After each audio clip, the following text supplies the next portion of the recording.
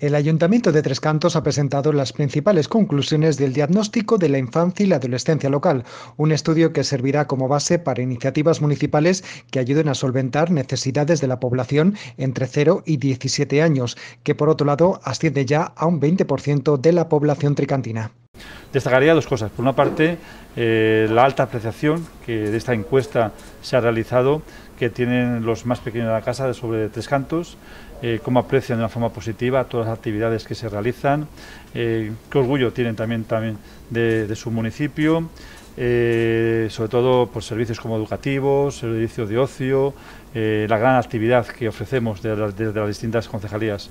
Y luego ese diagnóstico también pues, nos da una serie de problemas, es por ejemplo el estrés en el cual están sometidos los niños, dificultades en cuanto a familias vulnerables y la burocracia administrativa. Por lo tanto, ahora, una vez conocido este diagnóstico, eh, nuestro objetivo es ponernos a trabajar para eh, presentar eh, plan y presentar objetivos para hacer frente a las necesidades que se han detectado en este, en este, en este plan. Queremos que nuestros jóvenes, nuestros adolescentes, los más pequeños de la casa estén con los mejores servicios y nuestro objetivo prioritario ahora mismo, una vez que conocemos este, este diagnóstico, es eh, trabajar y presentar un plan de, con medidas que palíen en una gran parte eh, pues estas deficiencias o necesidades que hemos detectado en la población tricantina. En primer lugar, este tipo de diagnóstico se hace para levantar una serie de realidades que necesitan tener seguimiento y profundización. Por lo tanto, una conclusión importante es hay que seguir prestando atención a estas cuestiones porque sin duda hay mucha más realidad que conocer y muchas más cosas sobre las que habrá que seguir hablando, sobre todo de manera dinámica a causa de las consecuencias también de, la pandemia. Desde el punto de vista más estratégico, pensando en el trabajo a realizar desde el ayuntamiento a, medio y largo plazo, es muy importante la educación en valores y es muy importante todo ese trabajo que se hace para eh, que los niños y las niñas, digamos, desarrollen una visión mm, de eh, cívica y de compromiso, digamos, con su comunidad. Este es un aspecto importante que requiere al mismo tiempo que el ayuntamiento y las personas adultas sean conscientes de qué tipo de necesidades tienen ellos. Y eh, una necesidad muy importante es la de encontrar espacios de socialización más adaptados a sus necesidades, a las etapas de la vida en la que se encuentran y las necesidades que surgen en ellas fundamentalmente la posibilidad de encontrarse para poder tener una relación de amistad con otros niños y niñas. Eh, Tres Cantos tiene una población de clase media, un nivel de vida pues bastante elevado. Eh, sus relaciones se desarrollan entre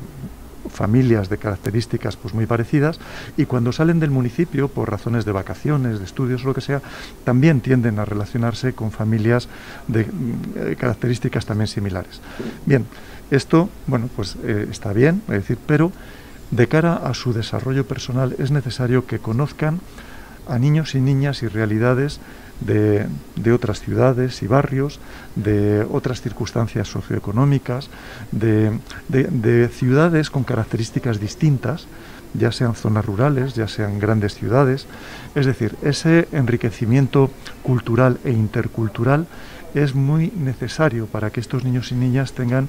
eh, una mejor integración en un mundo bueno, pues que, exige habilidades para relacionarse culturalmente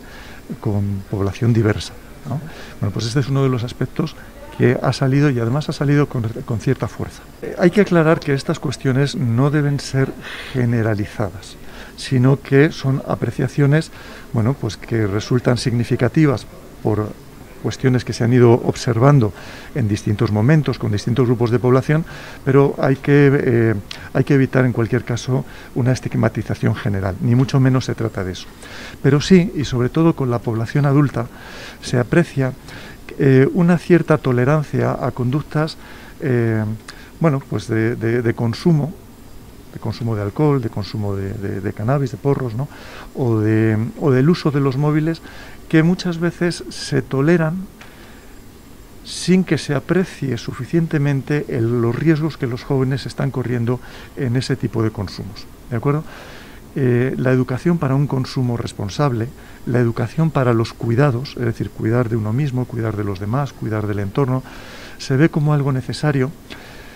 no porque haya que eh, dramatizar cierto tipo de conductas que a veces se dan a un nivel pues no problemático, pero sí si hay otro tipo de circunstancias eh, que generan estrés en los chicos y las chicas relacionados con fracaso escolar, relacionados con crisis familiares, relacionados con algún tipo de circunstancia de, su vida, ese tipo de conductas sí pueden convertirse en algo problemático. Puede tomar una trayectoria que lleve a los niños y a las niñas a situaciones más complicadas. El interés de muchas de los padres, las madres, porque sus hijos hagan muchas actividades, eh, tiene detrás un interés muy positivo para que los niños y las niñas se integren socialmente, desarrollen sus capacidades, es decir, que detrás de eso hay un impulso obviamente, digamos, eh, positivo. También muchas veces eh, los padres y las madres quieren que los niños hagan muchas actividades para que ocupen su tiempo de una forma productiva, lo que entienden que es una forma de ocupar el tiempo productiva para ellos. Sin embargo, en el caso de los niños y las niñas, la productividad de su tiempo tiene que ver también con la libertad para poder jugar y para poder establecer ellos su propia agenda, más allá del colegio y más allá, digamos, de, de ciertas responsabilidades. Esto es lo que se echa en falta por parte de los jóvenes y de los niños y las niñas. Esos espacios y tiempos donde ellos puedan gestionar sus relaciones y su actividad de forma más libre. A veces los padres utilizamos también las actividades como una forma de proteger a nuestros chicos y chicas, pero esto no siempre es lo más adecuado, ¿de acuerdo? tenemos que buscar la forma de que puedan hacer eh, actuar de forma segura los niños y las niñas, pero al mismo tiempo en un contexto de mayor libertad.